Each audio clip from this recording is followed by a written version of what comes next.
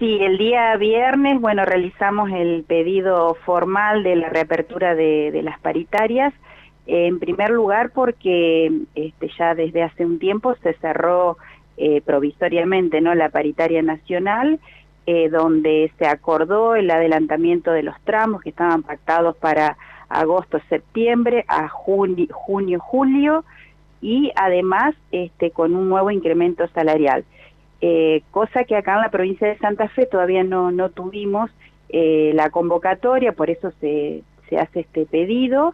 eh, para que nos convoquen en primer lugar por lo salarial y después por otros temas, como vos decías, que tienen que ver con la extensión horaria y con este, algunas problemáticas que están teniendo en la educación de adultos, ya sea primaria y EMPA.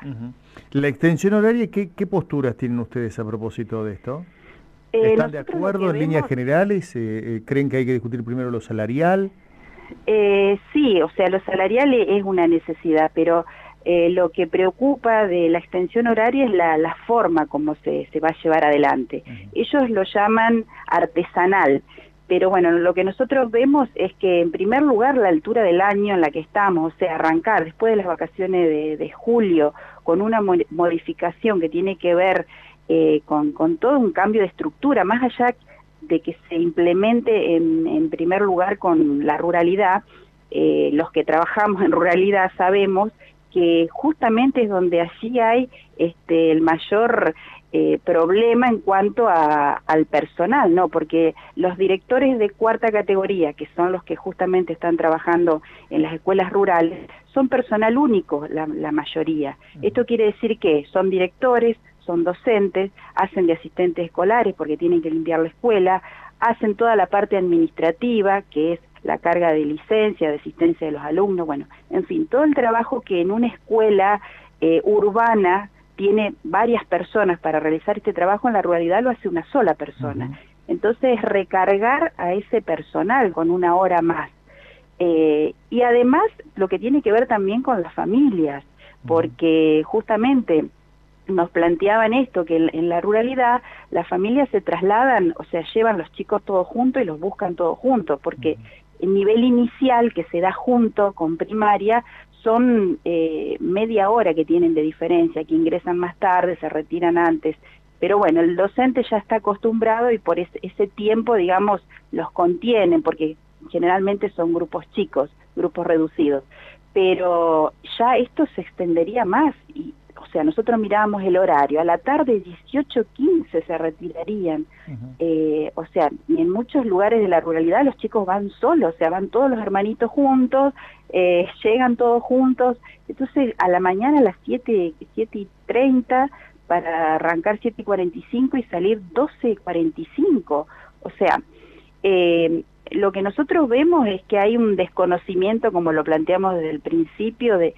todo lo que tiene que ver con lo, organizativo de, las escuelas. Y por eso ellos lo han eh, denominado así como artesanal, que cada escuela lo va a hacer en función de eh, la realidad que tiene. Pero esto después al, al, momento de ofrecer los cargos, porque esa es otra cuestión que nosotros no sabemos, quiénes van a ser llamados para estas horas. Cómo van a ser, el pago, va, porque se habla de un pago, eso es lo que nosotros sabemos bien, digamos, que va a ser más trabajo y bueno, y que el docente que lo tome, esté trabajando actualmente, va a tener una remuneración extra.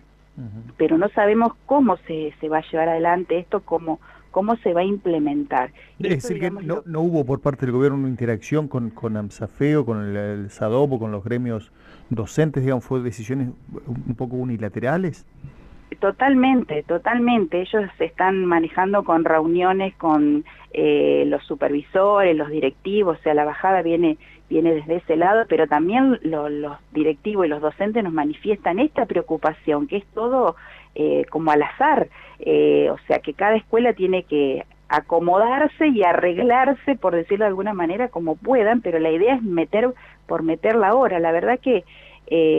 a nosotros nos preocupa mucho porque eh, sabemos que con media hora más no solucionamos los problemas de fondo, que el problema principal está en la desigualdad socioeducativa que tiene que ver y que trajo aparejado, ya veníamos desde antes, pero con la pandemia esto se agudizó,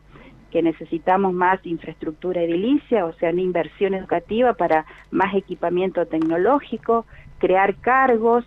eh, no solamente de docentes, sino como te decía, de asistentes escolares, porque eh, estas escuelas rurales donde el director maestro es el que limpia además y el que prepara la leche, para poder dedicarse a, trabajar con los alumnos media hora más frente al grado, va a necesitar sí o sí una persona que haga ese otro trabajo. Eh,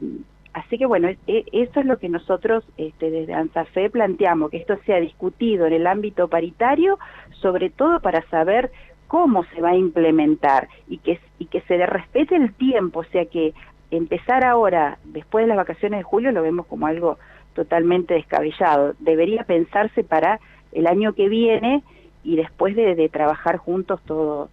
todo este programa que se va a hacer, porque también está lo curricular, no sabemos qué van a dar, o sea, se habla de matemática, de lengua, sabemos que no hay profesores, porque nos pasa normalmente en las escuelas que se quedan sin reemplazantes, eh, y nosotros pensábamos, un, un maestro, un profesor que se traslade a la ruralidad por 40 minutos, cuando no conseguimos en las escuelas urbanas que tienen los medios y las formas de llegar. O sea, e, es, complejo, es complejo el panorama y yo creo que ellos no, no dimensionan todo esto porque desconocen lo que siempre decimos, eh, la realidad que tiene cada escuela. Claro. Eh, Claudia, con relación a, la recomposición salarial, entonces lo que ustedes están reclamando es un adelantamiento. Sí, en, en primer lugar el adelantamiento de los dos tramos que quedarían, que mm. son eh, de agosto y septiembre, que se terminaría de cobrar en octubre, el último. ¿Ustedes lo piden que se adelante ya?